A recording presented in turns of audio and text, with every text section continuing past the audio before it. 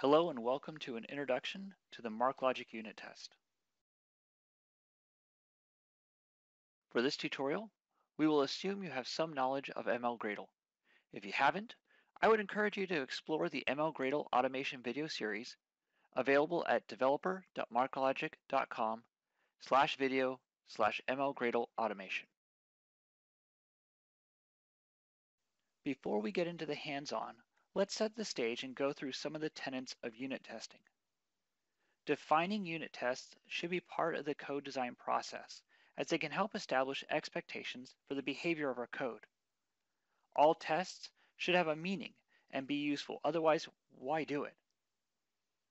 Test each behavior only once, as redundancy leads to inefficiency. For clarity, each test should test a single behavior and clearly comment each test. Make it obvious what you are testing and why.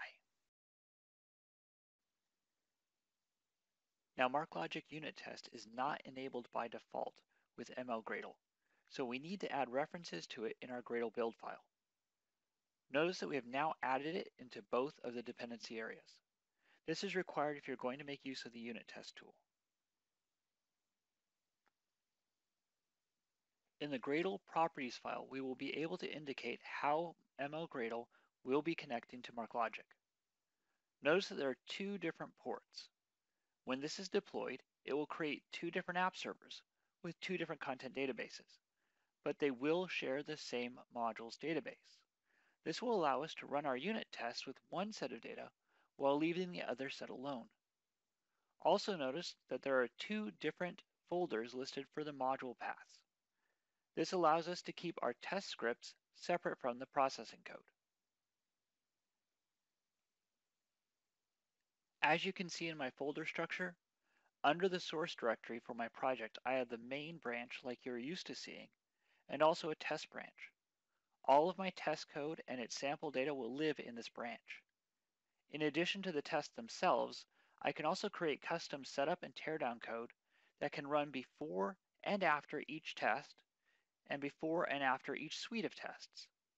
For example, my setup JavaScript file will load a content file from the modules database into the content database once for the test suite. I have two test scripts in my project. For each script, you need to include the test helper library and the code library you are going to test. The outcome of the test is computed using one of the assert functions available from the test library. In my example here, I've used my item average function and I am comparing the result to the known correct answer. Notice that the code is commented and only testing a single behavior. I wrote the second test script to show what would happen if a test fails. But realize it is also an example of what not to do. It basically doubles up on what the last script was testing, making it redundant. Also, there are no comments explaining what is going on.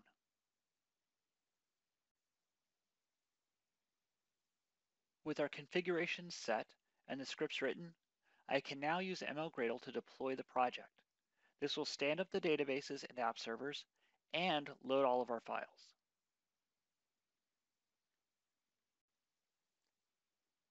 We've got a few choices available when it comes to using the unit tests. The first option I want to show you is from right here at the command line. I can use the ML Gradle task of ML unit test to have it run the test. This will give us feedback here in the terminal and also create a log file. Realize that I had written two tests and we can see that one passed and one failed.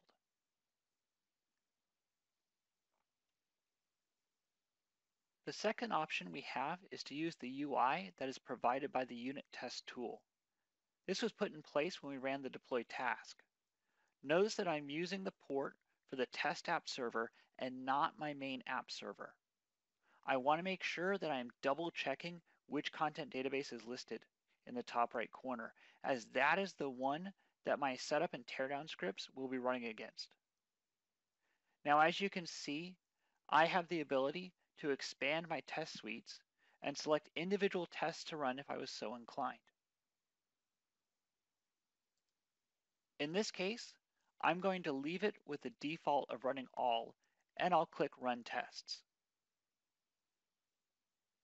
Once again, we had one fail and one pass. Realize that our goal would actually be to write tests that we want to see be successful. To get MarkLogic, download it from developer.marklogic.com. Get more training by visiting marklogic.com/learn or download the MarkLogic mobile app available on both the Apple App Store and Google Play. Thank you for watching this MarkLogic University tutorial video.